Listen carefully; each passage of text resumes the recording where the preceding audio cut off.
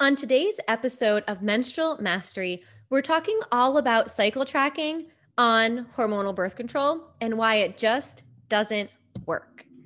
Quite often, I'll hear from women who tell me that they've just downloaded my cycle tracking starter guide and are excited to track the changes in their cycle. And I love hearing this. I am a huge fan for women everywhere knowing how to track their menstrual cycles However, many times women will follow up with me to let me know that they're on hormonal birth control.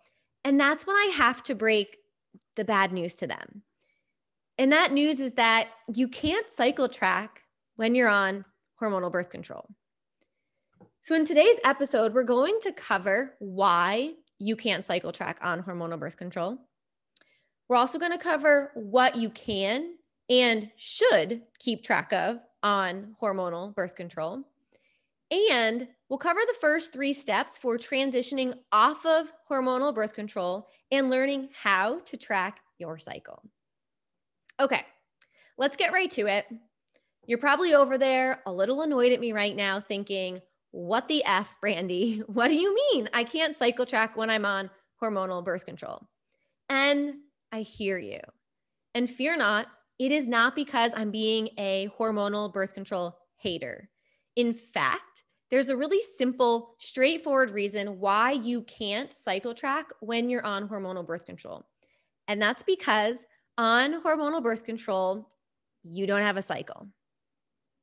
The only exception that I know to this is when a woman is on the hormonal IUD and having regular cyclical periods. For some women on the hormonal IUD, it allows them to continue ovulating. But for most, the IUD suppresses the cycle so much so that it prevents ovulation and therefore prevents you from having regular period. So, generally speaking, for most women on hormonal birth control, definitely on the pill. And if you're on the IUD and you're not having cyclical regular periods, you don't have a cycle on that hormonal birth control because of how it works to prevent pregnancy. So, hormonal birth control overrides your natural cyclical hormone production and introduces a flatlined hormonal state in order to prevent ovulation. Without ovulation, we won't experience the biphasic temperature pattern of low temps before ovulation and high temps afterwards. Hormonal birth control also takes away the cyclical changes we see in cervical fluid, replacing those shifts with thicker cervical fluid generally all throughout the cycle that makes it more difficult for sperm to move around. And so, therefore, by preventing ovulation, there is no egg to fertilize. And by thickening cervical fluid, sperm can't even get to the egg if there was one, anyways.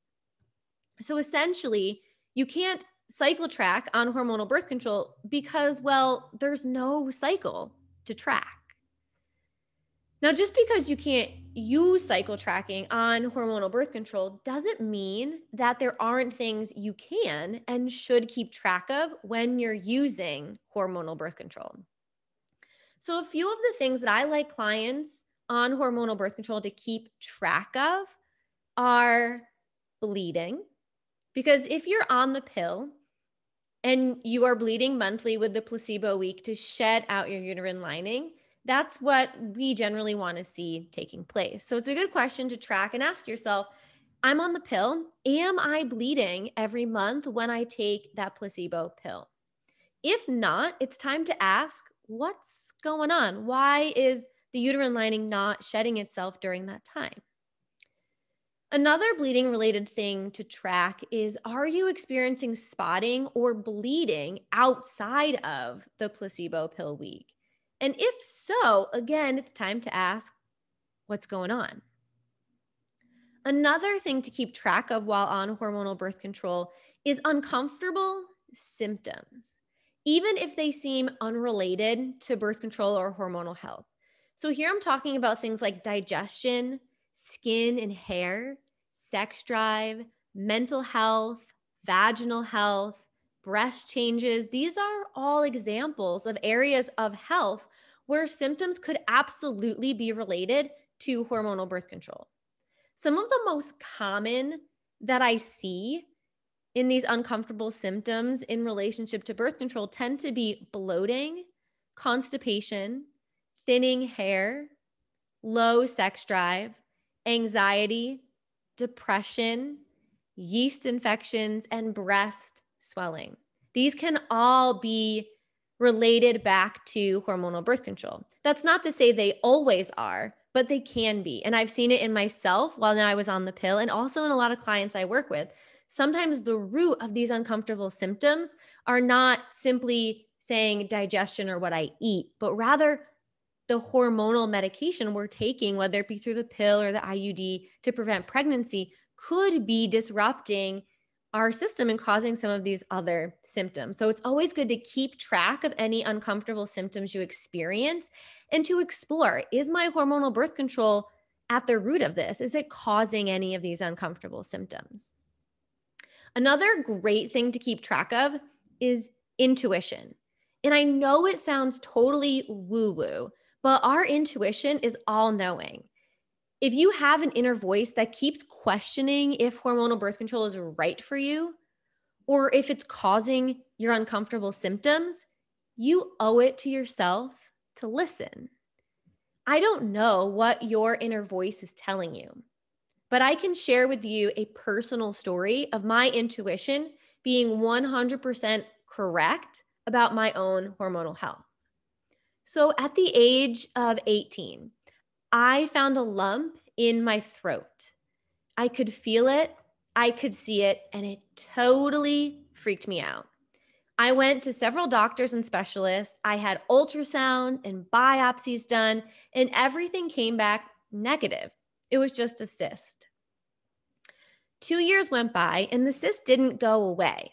The doctor said everything was still fine, but I didn't feel fine. I didn't have any physical symptoms. I just felt as I always had, but I had this inner voice that kept telling me something wasn't right. So I went to the doctors and I told them I wanted to have surgery to have the cyst removed.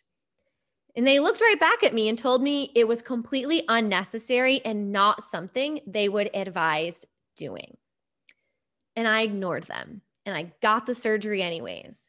And per protocol, they sent the cyst out for testing. And a few weeks later, at the age of 20, I was diagnosed with thyroid cancer, cancer of a major hormone producing gland in our body. And my intuition knew, my intuition knew something wasn't right.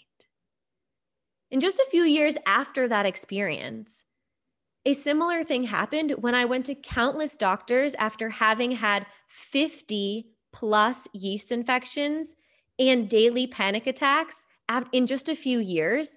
And I told them, I think it's my birth control. I've never had this issue before. And in three years, I've had 50 yeast infections and daily anxiety and panic attacks. And they told me straight to my face that that wasn't possible. The pill was not causing it. And a few months later, Per my intuition, I went off of the birth control pill. And within a few months, the yeast infections and panic attacks disappeared. It was all intuition. I trusted it, I tracked it, and I did what felt best based on my body and my own inner wisdom. So, intuition is hugely important when we talk about cycle tracking. What is the inner knowing? What do you keep hearing inside that you no longer want to or simply can't ignore? Okay. Let's take a second to talk about what you do if it feels like you are ready to go off of hormonal birth control and how to start cycle tracking. So, first, choose the non hormonal birth control method you will use while you're learning how to use the symptothermal method of natural birth control. You'll also need to choose a non hormonal method, even if you have no plans of using the symptothermal method. And it's important to note again that the non hormonal copper IUD is not compatible with the symptothermal method because of how it thickens cervical fluid and hides the vital cervical fluid signs that we use in the symptothermal method. So, the method I most commonly see being chosen and advocate for tends to be condoms. But we also have diaphragms and the pull out method. And I advocate for clients to use at least two of these methods at the same time for greater efficacy. So that means using condoms and a diaphragm, using condoms and pulling out, or diaphragms and pulling out, choosing two methods, neither one of which is relying on the symptothermal method, even though you're learning it at the same time. Taking time to learn the method and relying on a separate barrier, non hormonal method to prevent pregnancy while you build that confidence and get really comfortable using the cycle tracking method. So, the second thing I advise when choosing to go off of hormonal birth control is set the date. Literally get out a pen and write it on the calendar. When is your last day of hormonal birth control? Plan ahead of time. Finish out your last birth control pill pack. Schedule your IUD removal. Meet with your doctor and be prepared for pushback. Doctors are skilled in hormonal birth control options and are not taught how to use or teach cycle tracking methods of natural birth control in medical or nursing school. Therefore, they almost always advocate for using hormonal methods since it's what they know best. And you are 100% allowed to choose the method that is best for you. And you're 100% allowed to say to your doctor, hormonal birth control is not the best path for me. So be prepared to advocate for yourself and for your decision. In step three, meet with a fertility awareness instructor. It's what we're here for. We are the ones who are trained to use and teach cycle tracking methods of natural birth control. All of the efficacy studies to date on the symptothermal method are based on working with a trained instructor. I mean, you wouldn't take the birth control pill or go on the IUD without meeting with a doctor first to discuss symptoms, side effects, best practices, or what to expect. And the same goes for using natural birth control. Meeting with a fertility awareness instructor should be your first stop. You don't have to, nor should you do it alone. We are here to help, and we're trained to help you have the best experience possible as you transition from hormonal birth control and start using natural cycle tracking birth control.